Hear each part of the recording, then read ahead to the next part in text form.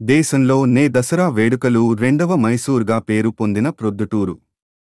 ఈ రెండు వేల ఇరవై నాలుగు సంవత్సరంకి అన్ని దేవాలయాలు దసరా వేడుకలుకి సిద్ధం అవుతున్నాయి ఈ సంవత్సరం దసరా వేడుకలుకి ప్రజలు ఉత్సాహంగా ఉన్నారు.